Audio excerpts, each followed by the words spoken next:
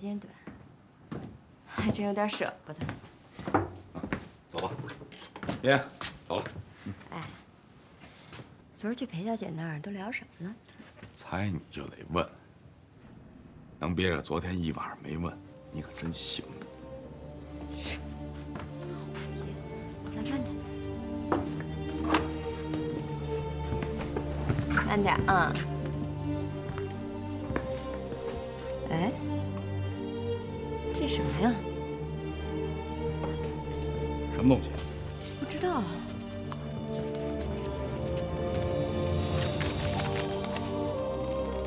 我的房契啊！还真是。这哪来的？谁给送来的？郭海，你当初当给谁了？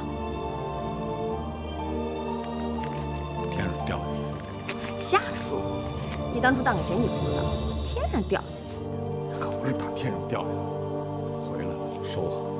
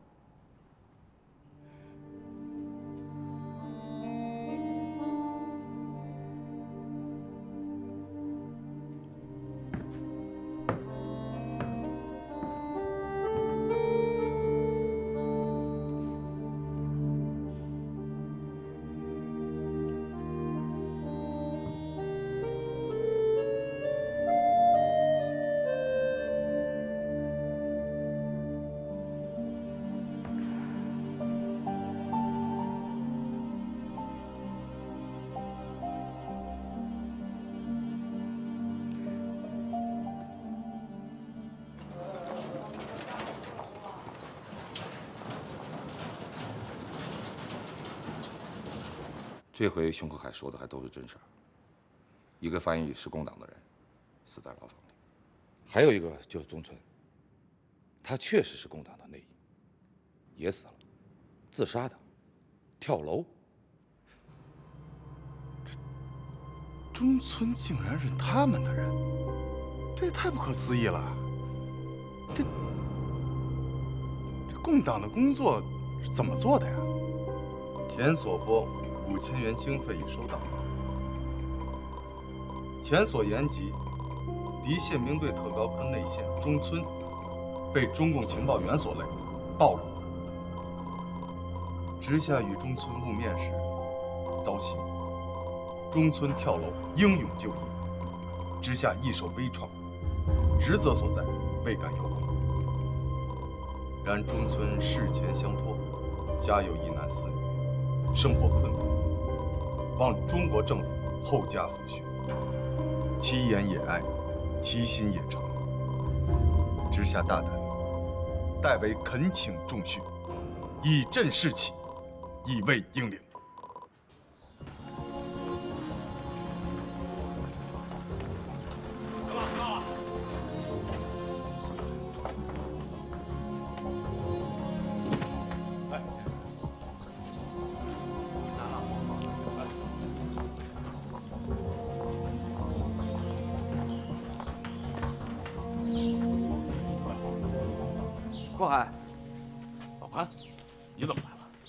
就是再忙，你走我也得来送啊。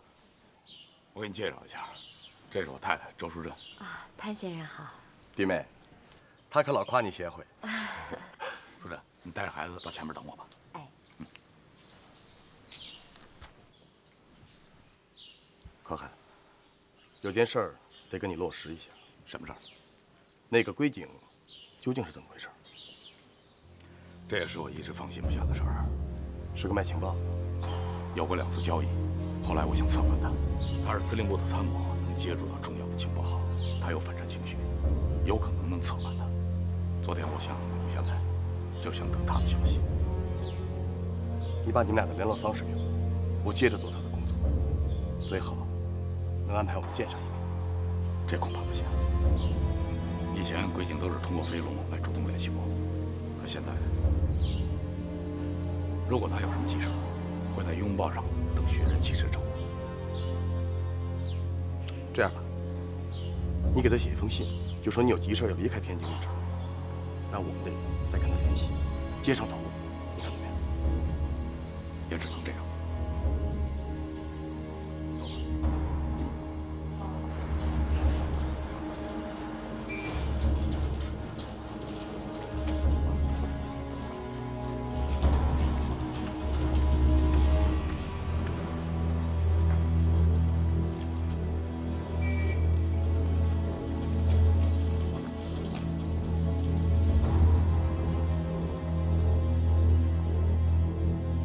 大佐楊順の本当の名前はション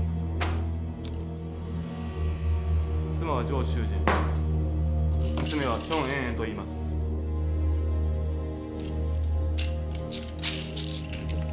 私が欲しいのは名前ではない。本人だ。はい。これだけの時間を費やしてこんなものしか見つからんのか。申し訳ございません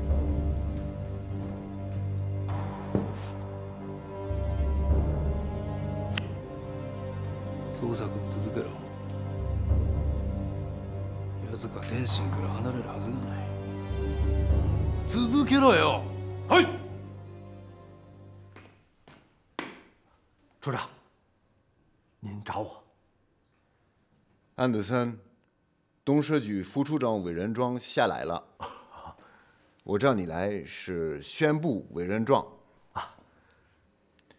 现委任 陈十三为工部局警务处副处长。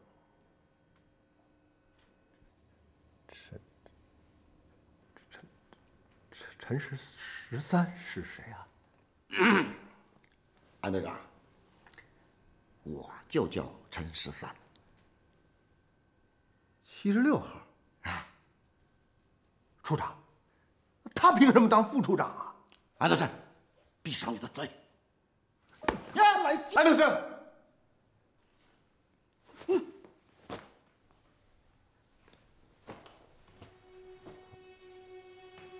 我明白了，他给的比我多是吧？哎，我那些钱白扔了。哎，每个月可这么厚一沓呢。哥哥嫂子饿得没饭吃，我都没还他们的钱，我全都给你了。我出去，滚出去，安德森！我凭什么滚？呃，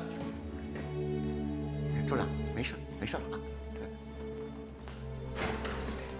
安队长，安队长，七十六号，你给了他多少钱？他让你当这副处长？这事儿他不能怪我。你说你一个屁跟班的啊，怎么就成了我的上司？你哪来这么多钱？安队长，不说这个，不说这个。晚上我在丰泽园备了几桌，请兄弟们尽兴，啊，都去啊，都去啊！我他妈的，我这会儿就想进！哎哎哎，这，哎呀，哎呀，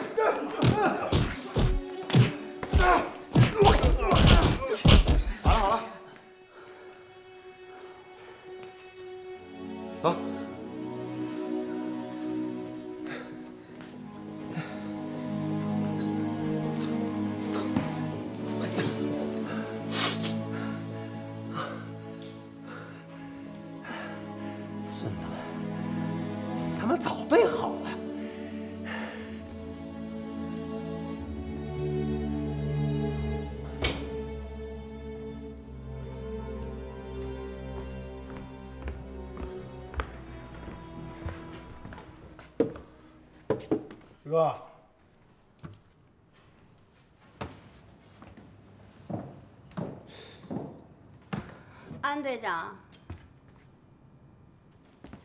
哟，安队长，您这怎么了？学会化妆了？再说，再说，我也给你化化妆。怎么那么不经逗啊？你怎么了？我那儿有药。不用。他们哪儿去了？走了，你不知道啊？走了，哪儿去了？杨柳青他表哥家。杨柳青他表哥家。黑小姐，你太可怕了！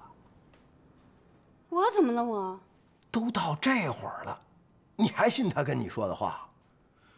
人家跟你这儿没一句实话，人家这叫远走高飞了，知道吗？你俩关系那么好，他没告诉你他去哪儿了呀？告诉我，告诉我，他就不是共产党了。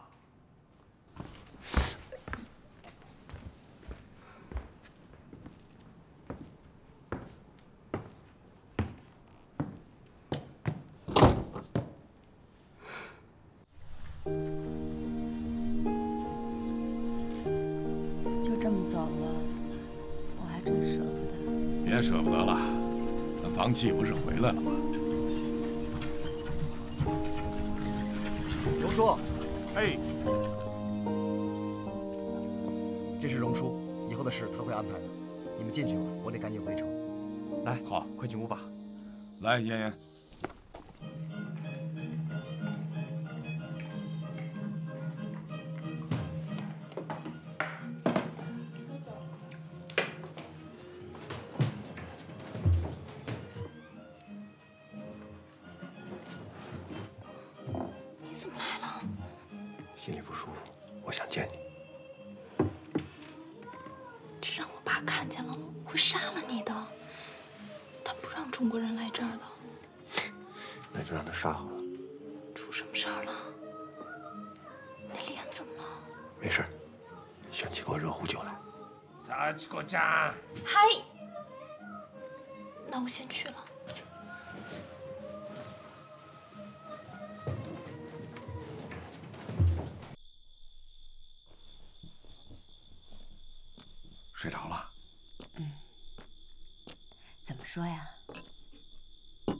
天咱就进山，再等一拨人，等他们到了，咱们一块儿走。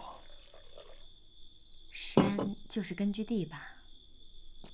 啊，龙叔叔，这边啊还是鬼子的地盘，上个月鬼子还来扫荡过一次呢。熊阔海，啊，我问你件事儿，你得跟我说实话。打今儿个起，我跟你这儿就没秘密，说什么事儿？裴小姐是你们同志吗？不是，她就是一个同情革命的普通群众。那还行。要是你们组织里有这么一个鬼灵精怪的同志，我还真不太放心呢。嗯，什么味儿？闻着了吗？酸酸的。你还吃醋？谁吃醋啊？我吃什么醋啊？我是说，人家裴小姐一人也不容易。要是知道她这么进步啊，那不如带她一块儿去根据地得了。得了吧，啊！那这一路上我还想消停。你看，心里有鬼是吧？是不是心里有鬼？我有什么鬼呀？反正我觉得他喜欢你。别胡说八道啊！我跟裴小姐真的什么事儿都没有。赶紧睡觉吧。哎呀，说这一年多了啊，好几百块。现在我的一部下爬我头上来了，说我在巡捕房，我怎么待呀？我安德森，咱们走吧。天津每周都有一趟去新京的火车。满洲没人管日本人要嫁给中国人。在天津卫没人敢管我。那不行，我父亲是不会让我嫁给中国人的。那我也不管。前天是家母的忌日，父亲正式跟我谈过了，要我嫁人，嫁给多伦道沟口小仓家的二儿子。那不行，你是我的，跟你爹说我要娶你。撒鸡哥，我自己跟他说。拜托了，你别去了，他那脾气，你去太危险了。他是谁？一个客人。这里不接待支那人，滚！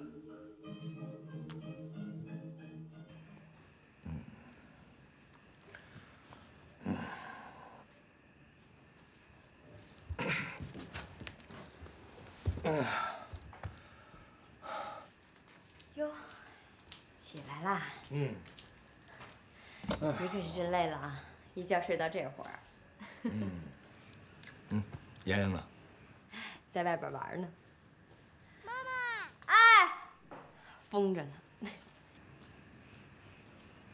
嗯。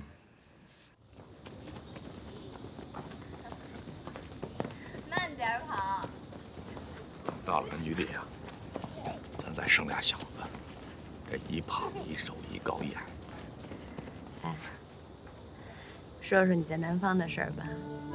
十来年了，以前也没说过实话。说来就话长了。那年我去汉口，读的是军事学堂，黄埔军校武汉分校，学的是枪械课。说这些你不懂。可进了学堂，书还没念，就编进了学生军，打仗。再后来啊，就进了兵工厂。这在兵工厂里，刀枪剑戟斧钺钩叉，你相公我是样样稀松，不稀松。不是我吹，长枪、短枪、歪把子、机枪、迫击炮，没有我不懂，没有我不会。哎，那你是什么时候跟共产党入伙的？军校那会儿，你师傅是谁呀？是一个叫恽代英的人。嗯，谁呀？下属。疼他，恽先生人很好，教了我很多道理。可惜啊，已经去世了。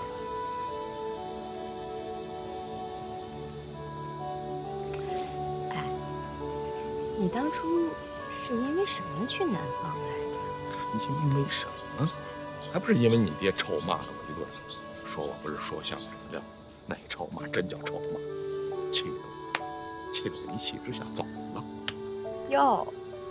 闹了半天，您记得呢。慢点跑，哎呦！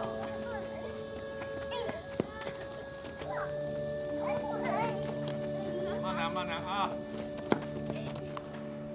法租界有你在，我就放心了。这个安德森实在太讨厌了，没有一点抗战激情。以后要是有什么情报，可得及时通报啊。陈大处长，哎，杨先生，您千万别这么说，你这不折杀我吗？要是没有您的银子，哪有我这个处长？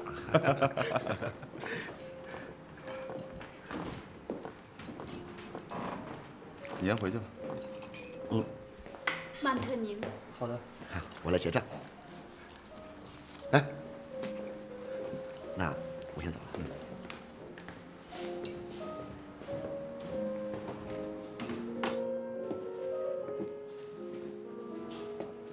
山映斜阳天接水，芳草无情，更在斜阳外啊！唱什么酸曲呢？我是道出了裴小姐的心声。小姐您好，您的咖啡。谢谢。人去楼空，些许孤独啊。听说熊阔海举家潜逃了，这种人办事不怎么地，跑路还挺麻利。延安的人嘛，就会游击。杨先生和以前不一样了，不再讲大道理了。哼 该讲道理的时候还是要讲的。裴小姐，那个房契你是不是赚大发了？是转卖他人了，还是物归原主了？赚大发了！你抱了我，我觉得我亏大发了，知道吗？你这说的也太难听了，燕玲，我不是你想象的那种人，铁面无私、冷酷无情的，我也有儿女情长的一面呀。我还真没把你想象成铁面无私的那种人，真的。我知道，魔法钻进了你的心。但魔力却折磨着我的肠。有句话说得好，这世上有三样东西，妇女理当注意：嗜酒、赌博、别人的丈夫。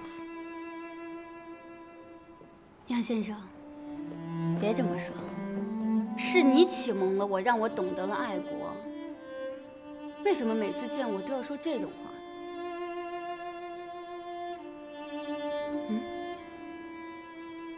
在我的前辈那里，启蒙都是爱的开始，可到了我这儿，怎么就相反了呢？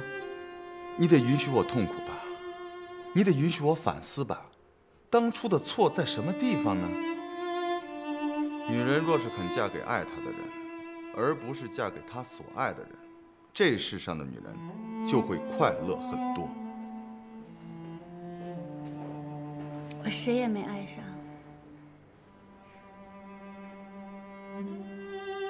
我不信，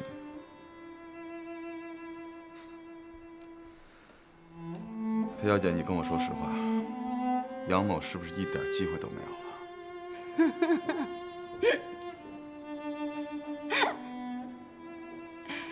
杨先生，你我不是一路人。错，你我就是一路人，都是善良的、肯帮助别人的人，你知道吗？你托我打听朱鹏寿先生的事儿，有消息了。真的。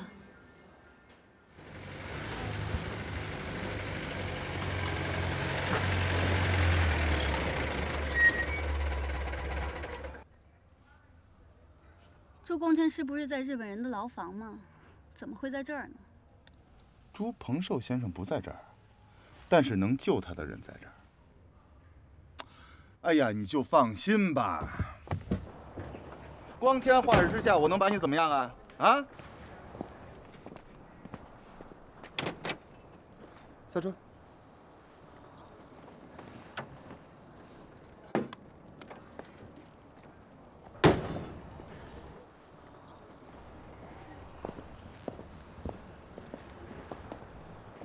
我来介绍一下，这位，英租工部局警务处副处长华莱士先生。这是我的好朋友，裴艳玲，裴小姐。裴小姐，认识你很高兴，你很漂亮。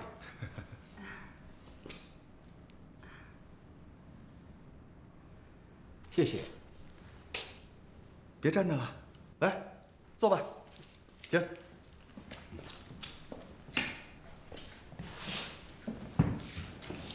华莱士先生跟日军高层关系密切。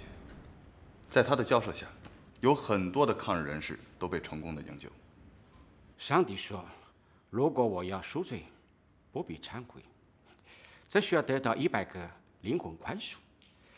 也就是说，我要凭借我个人的力量来营救这一百个无辜的生命。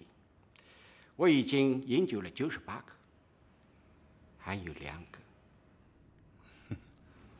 那这么说，华莱士先生。”您答应帮我们的忙了。上帝是万能的，可我却不是万能的。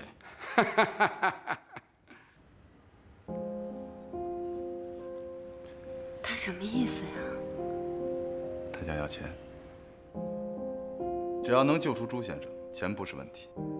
这样，我先预付您两千，事成之后再付五千。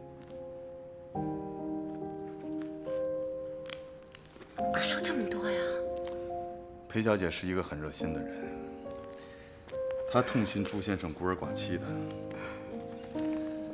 六个月了，音信全无。看着裴小姐心痛，我杨某人也很着急。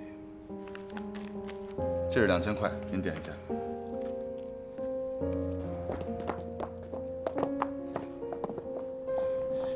杨先生，谢谢你，真心的。那笔钱也太大了。钱的事儿呢，你就不用担心了，只要你能开心。那我去朱家报个信，朱太太整天以泪洗面的。好，我陪你去。用不着。呃，我的意思是，他们家住的不远，我走几步就到了。好吧，那你等我好消息。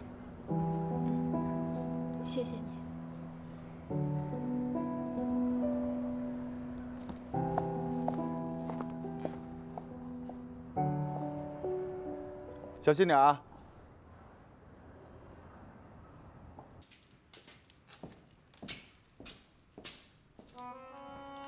可以吗？蠢货！胡说八道什么呀？啊，还什么什么万能的上帝？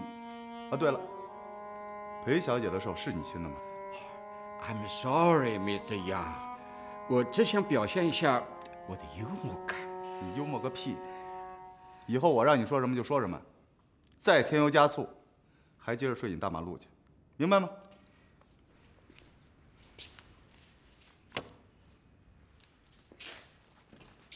谢谢。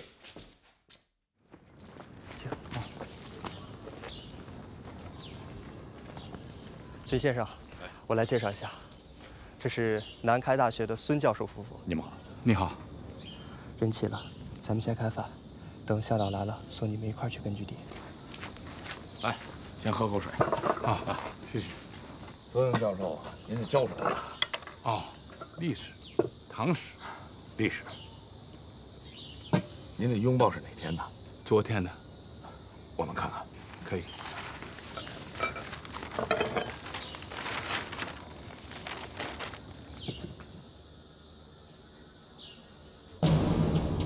归景的暗号。归景主动提出见面，这还是第一次。三种可能：一是龟井同意合作；二是有新情报要出卖；三是龟井暴露了要诱捕他。按照当初的约定，下午三点他们在新泰茶楼见面。现在必须上路了，如何应对，只能路上再想了。孙教授，您有表吗？现在几点了？十一点了。粥来了。哎，慢点烫着。我临时有点事儿，必须马上回去一趟，只能是你们先走了。出什么事儿了？很重要的事儿，我必须得回去。你现在知道我是干什么的？有件事我没有做完，你带妍妍先走，回头我去追你们。不行，你不走，我们也不走。我说过，咱们一家人不能分开。淑珍，现在不是你使性子的时候，你必须得服从安排。你已经参加革命了，不再是家庭妇女了。那我们跟这儿等你。好吧，那你们在这儿等我，我得马上走，来不及了。哎，妍妍，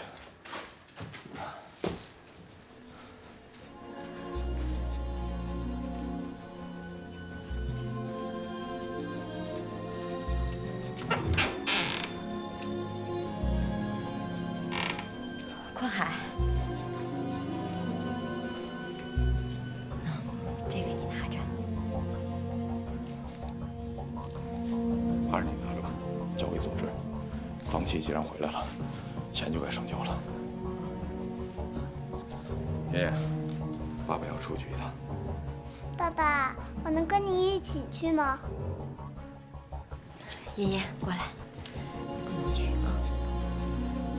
到底是什么事儿？不能告诉我。大鬼子的事儿，替洛城报仇的事儿，明白了。你带着妍妍在这儿等我，天黑之前我就回来。爹，挺忙活的。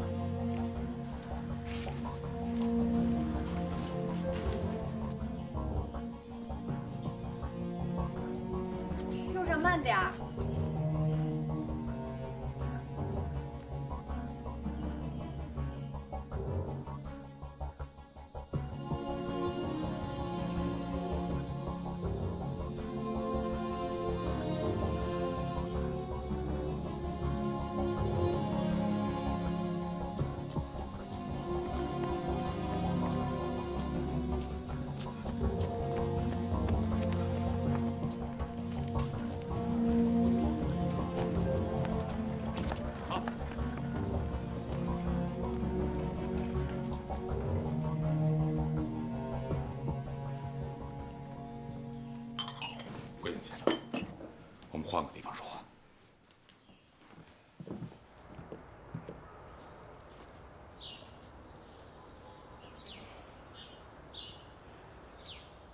我来是有一个很坏的情报要告诉你。德平君牺牲了，我已经知道了。你知道他是怎么死的？很悲惨，是自杀的，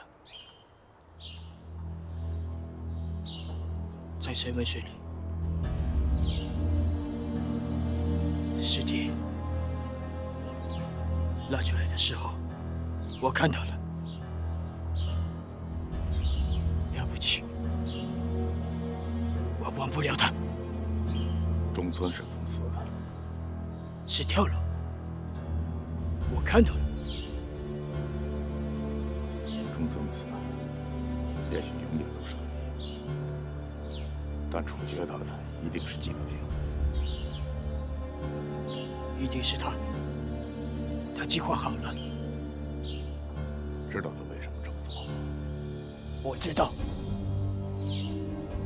德平君这么做是为了我的安全，他牺牲了自己，保护了我，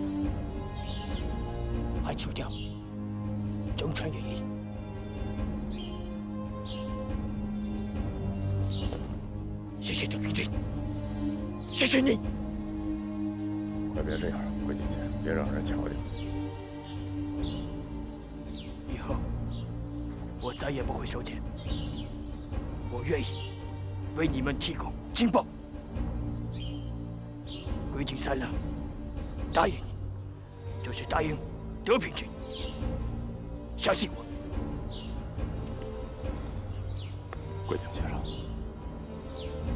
你这句话让我看到了更多的希望。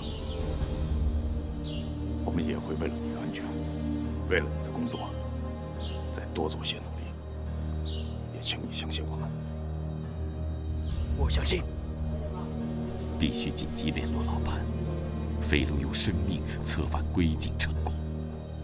熊阔海此时热血沸腾，能取得归井的信任，说明一个新的局面骤然打开了。他的头脑中迅速浮现出一个秘密情报站，只为配合归井的工作。谁能领导这个情报站呢？他想，只有他自己了。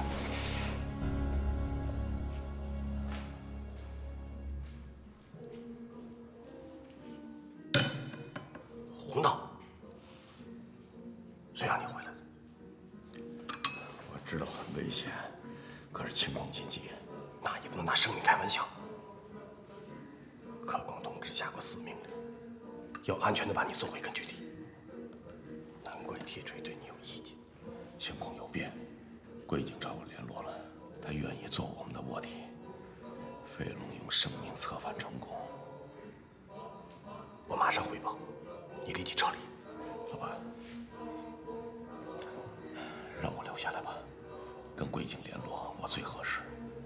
不行，撤离。老板，在这个节骨眼上不能有半点闪失了。桂井现在是惊弓之鸟，他现在最信任的就是我，刚同意跟我们建立联系。如果我们这会儿换人，我担心他思想有波动。我还是不同意。你放心，不会有问题的。我已经都想好了，我们可以在南市三不管建立一个联络点，那儿鱼龙混杂，好隐护，而且离海公司近，好跟桂井联系。我不能抗命，危险太大。跟上级请示一下，老板，在天津展开工作，我是最合适的人选，你承认吧？只要给我一部电台，我保证能现在换人真的不合适，我已经跟桂井约好了，后天还要见面。让我留下来，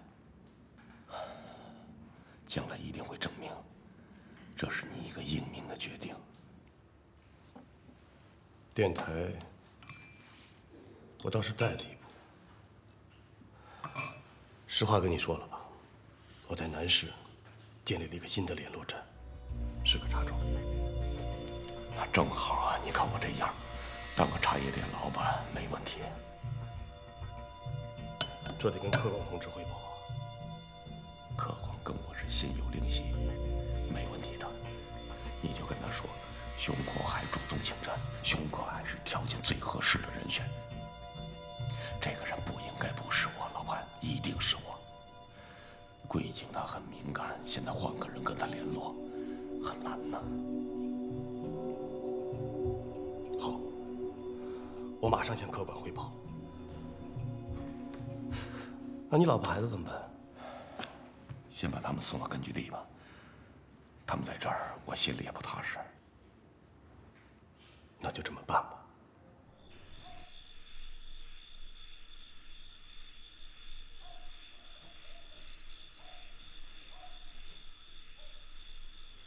妈妈还没睡呢，宝贝儿，快睡吧。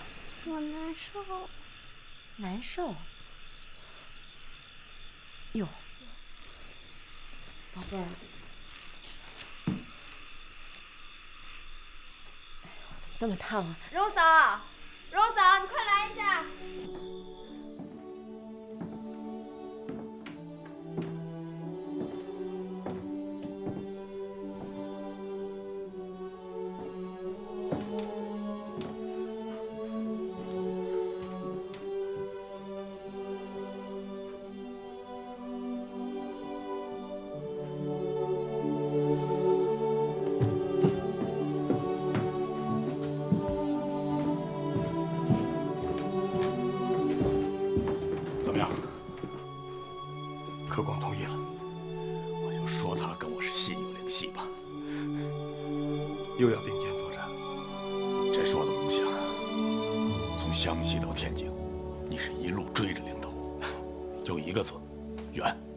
不是缘，是命运，是国家和民族的命运。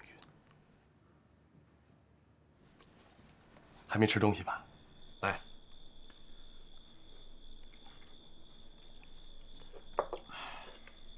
听说你对铁锤的领导有点看法。有，公司的原因都有。论功，铁锤不重视情报工作，单纯的军事思想。论私，我弟弟罗成，正值青春年华，在他的领导下牺牲了，而且牺牲的毫无价值。牺牲了是很可惜，但你不能说他牺牲的毫无价值。行动组的刺杀代价太大，我始终保留意见。为什么？为了一个家当，我们牺牲了多少同志？我现在想想还后悔让季德平参加行动。他死的太可惜。我们在租界潜伏了三年。看来你是反对砍头行动的。反对。就是见到克广同志，我还要建议取消砍头行动。牺牲这么多同志，就为杀一个加藤敬二，不划算。